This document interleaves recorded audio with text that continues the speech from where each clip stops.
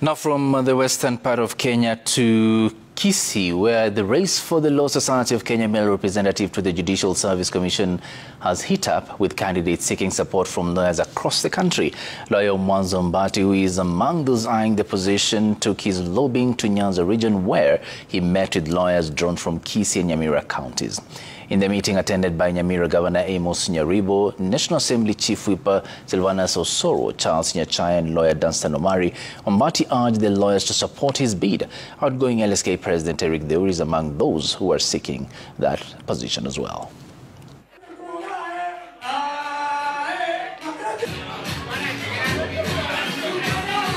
We have a four-point agenda. Number one, I want to be your visible and accountable representative. Number two, champion for more opportunities for lawyers at the. Nasikia?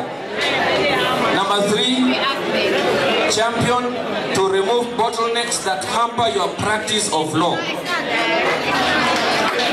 And number four is to champion for the independence of the judiciary.